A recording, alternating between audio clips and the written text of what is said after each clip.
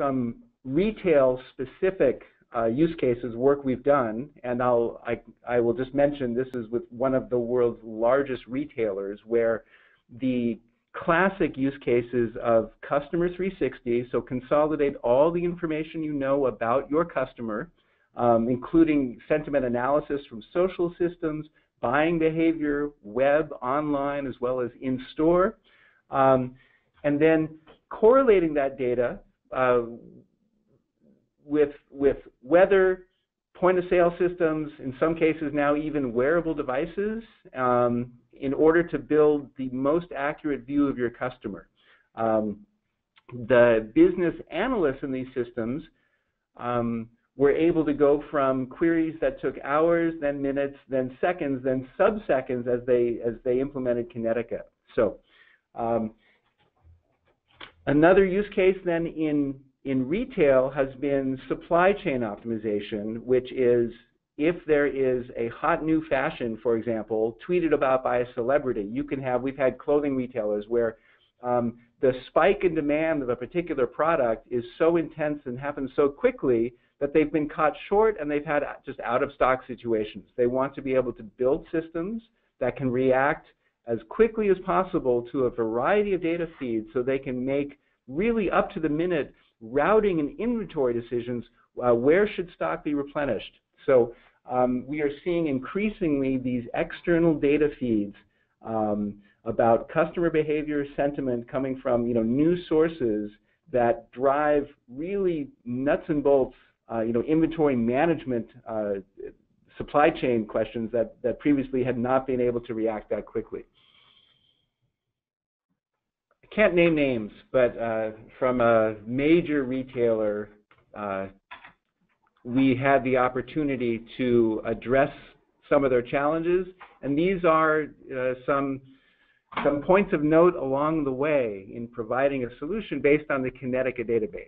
So um, this was in the context of a retailer who had very, very large scale almost money no object, but that you, you, can never really say that. But let's just say huge capital investments in what they believed were state-of-the-art data management systems. And they still were not meeting their SLAs, their demand to, to perform the, uh, the out-of-stock uh, uh, use cases described earlier. Um, they wanted to correlate, you know, again, weather, social media, um, demand, and uh, avoid out of stock uh, to, to drive the bottom line.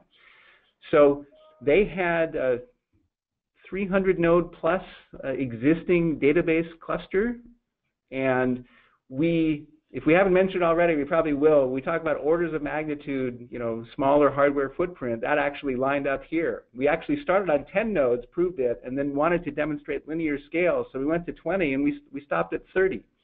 So a 30 node Kinetica cluster powered by GPUs, so you know one tenth the size proved out on their top 10 hardest queries that they gave us.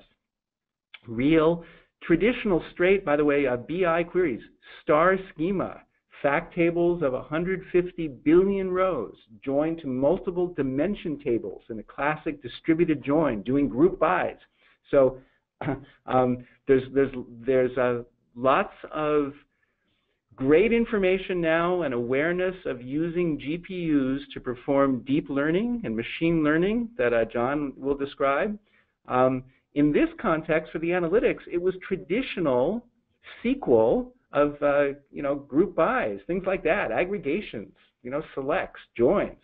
Um, this came out again on one tenth the hardware, a hundred times faster, and as we continue to optimize, it, it got beyond that. And so this is not true just against the one particular vendor we were going up against, but it's true for other in-memory databases. And when I mentioned that bringing large memory into the database world is a good thing because it cuts down your latency in getting to data. But again, it just reveals that the bottleneck in the systems now are, do you have enough compute resource to process the data? So compared to other in-memory databases, which are in, in, some quarters regarded as state-of-the-art, um, they, they are so compute bound that uh, we are able to demonstrate again on such a small footprint, such a significant performance gain. And let me mention that the types of analytics performed at scale now, things like group bys on very high cardinality data sets. Um, you know, this is a characteristic of the new types of analytics that, that are that are coming up in, in you know how many different product SKUs are there? How many different customer IDs are there?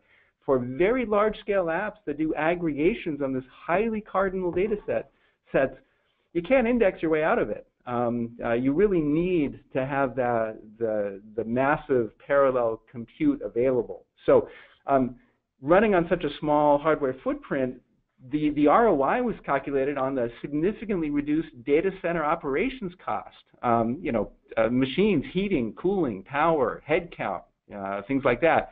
And then the flexibility, which we'll cover in a little bit here, about um, how this modern data architecture gives you more options for, for integration. So here's a, here's a screenshot of, of what was built for a particular retailer um, who wanted to explore. So the visualization uh, comes from Kinetica. This is a lightweight web application that's calling the Kinetica APIs to, to render visualizations that you can drill down to at any level of detail, almost like that science fiction movie trope, you know, enhance, enhance, enhance, and just get deeper and deeper into the, into the data, down to the street level. If you want a multidimensional query on, in this case, you know, a product category based on a, a region, um, you can simply draw a region, a gesture on your application, and we'll perform in sub-second, even on billion row data sets, um, what's contained within that region. Then you can just drill down on it. You can interact with, a, with a, the histogram control at the bottom there just to select a time dimension, stack these filters up. So you can really slice and dice your data without having to redesign it. I did not need to massively denormalize the data to get this to work. You've got this compute and analytic capability without having to change your data model.